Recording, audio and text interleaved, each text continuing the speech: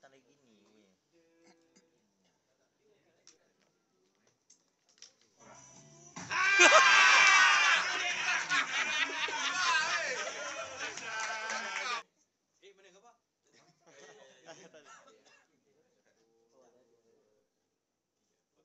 Cik Muhammad Fazli Nizam.